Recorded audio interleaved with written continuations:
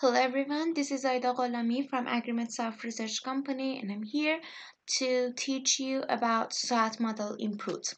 Um, so I have made a lot of videos um, describing how to make these inputs but I never made a video to tell you uh, what are all the inputs you need to make your model. So now I'm here to uh, tell you that and so let's keep going on. The first input for your SWAT model is the DEM map. So as you can see, this is the DEM map showed here and um, it is used when you click on water delineation and the first thing you should inform to your uh, model is the DEM. So SWAT does all uh, the um, upcoming processes using your DEM map. So it's so important. Um, it's better to have a high resolution DEM um, so you have um, all these processes done better and it's so important that you that your DEM map covers all your study area, covers all the places you are uh, going to work on later. So that's the DEM. It's super easy to have this DEM map and I have already made a video uh, showing you how to prepare this one for your SWAT model so just go through it. The next input you need for making your SWAT model is the point sources. So it's it's optional, it's not necessary, but it has a lot impact on your results. So if you want um, accurate results at the end, you need to have these point sources informed to your SWAT models. So uh, uh, what you're going to do is to uh, make an Excel file with um, columns as UTM-X and UTM-Y and then convert it to DBF so it can understand and it can um, read your file. Uh, then there, there's something like this on your map. So here uh, it doesn't um, understand the withdrawals. You don't give the information about withdrawals. It's um, in upcoming um, steps. So it's not it's not for here. Here you just say this is a well or this is um i don't know spraying here and these things okay so that's for point sources. Um, another SWAT model input that you should provide is the land use. Land use in, is an essential part of your SWAT model. It's very important to have an accurate map to uh, define all these classes very uh, perfectly and like accurately.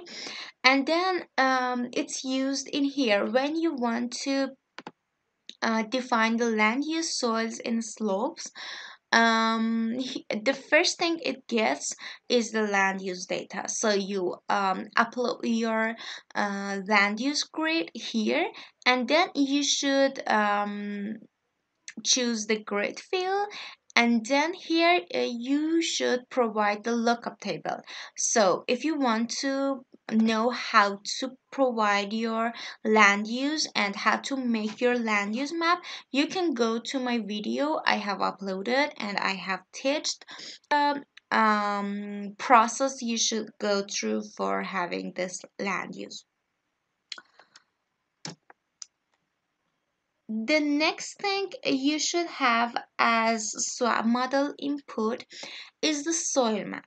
So the soil map is again very important. Uh, soil maps and land use maps are used to um, estimate the um, CN value and CN curve. Uh, so it's too important to have an accurate map for this one as well. So here you just upload the soil grid and then uh, choose the grid field. And here uh, soil database option you should uh, put on user soil if you have provided it yourself.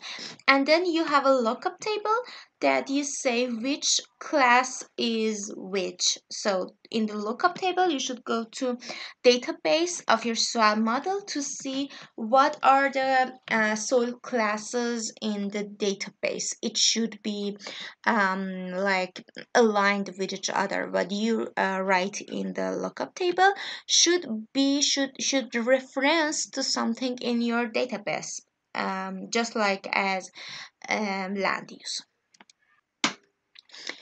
Another model input for your soil model is the um, uh, weather data and weather stations. And um, you can see that here in weather data definition window uh, it has um, like mm, different segments solar radiation data wind speed data weather generated data rainfall uh, temperature and relative humidity.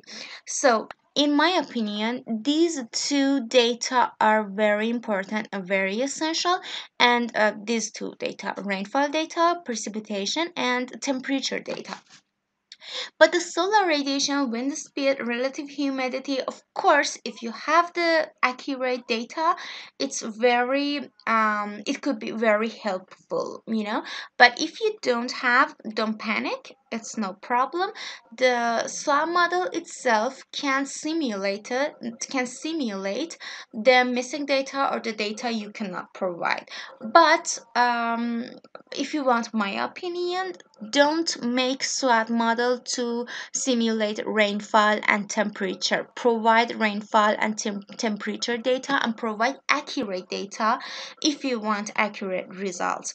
If I want to say like 50% of um, functionality and um, simulations of model is based on these two parameters. And it's so important so important so important.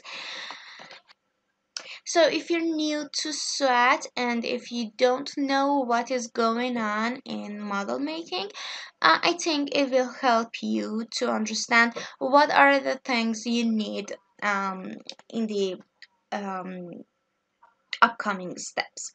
So that's it for today's video. I hope you learned something new.